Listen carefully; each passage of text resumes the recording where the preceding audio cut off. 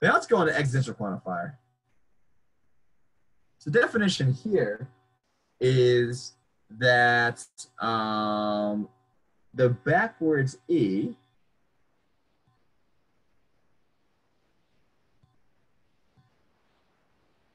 is the existential quantifier.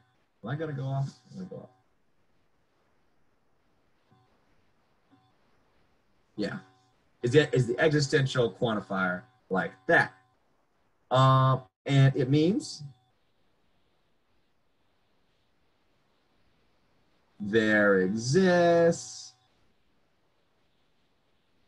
or um there exists where do I write this there exists or there is some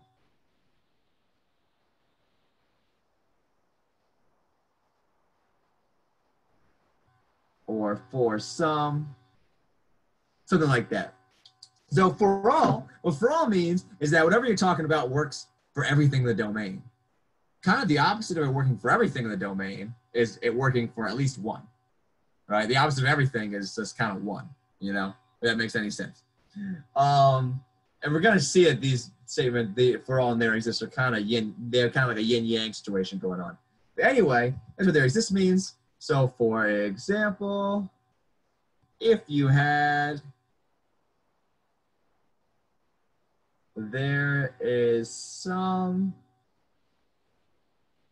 pair of people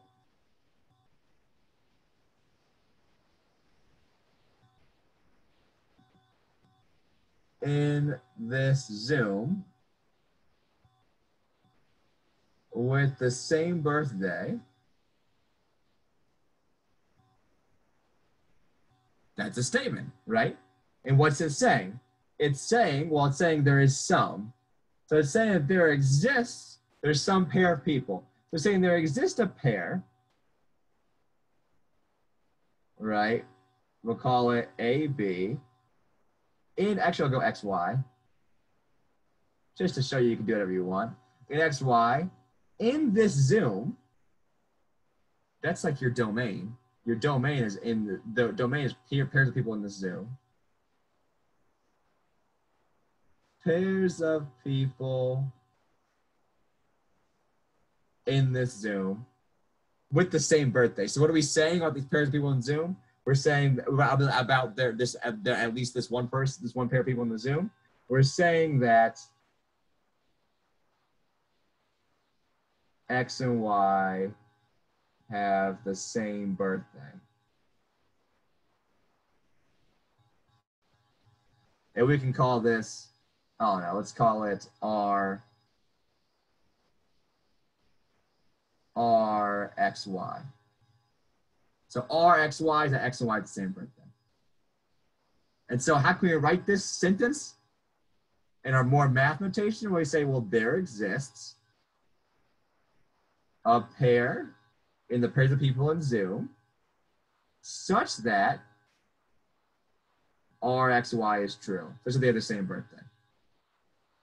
I've got a quick question. Yeah. Is is there any like notation or verbiage for when the order of the pairs or the variables don't matter? Because previously we said like if we if we have a pair, sometimes they do matter, and in this case it doesn't. Is there like some notational difference between those two? Um, um, yes or, or is that like out of the scope of this class? That's a little out of the scope of this class. Okay, okay. Talk, talk, talk me after class. I, I, I'll, I'll tell you the difference there. For now, just assume everything in this class is as the, pair, the pairs ordered. But anyways, it makes sense how this statement's the same thing as this statement right here. And by the way, is it true? Wait, wait, wait. Let's go through real quick. My, my birthday's June 22nd. Anybody match with that? Camille, what's your birthday? January 7th. January 7th. Anybody match with January 7th? What else we got here? We got November 20th. Anybody match with that? May 26th?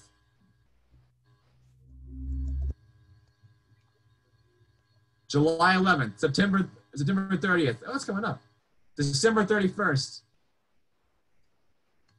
December 28th. Oh, dang, close. No? Okay. Well, that's okay. Doesn't matter if the statement's true or false. It, just matters that the statement is going to be one of the two. And in this case, it happens to be false. We close, though. So that's an essential quantifier.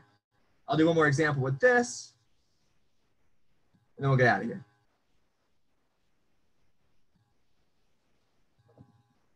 So an existential, another example of an existential statement would be uh,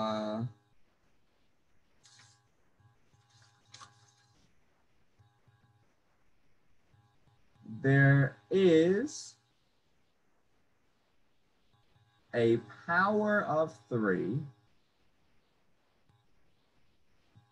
such that um,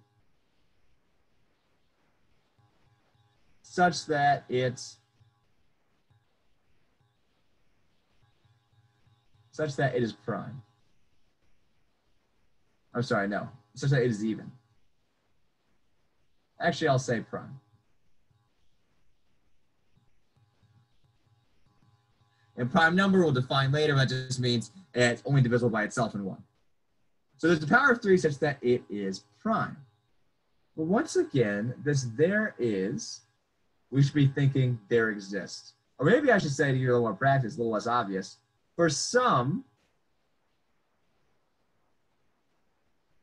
for some power of three, I'll say some power of three, some power of three is prime. Let's just start over. Some power of three is prime.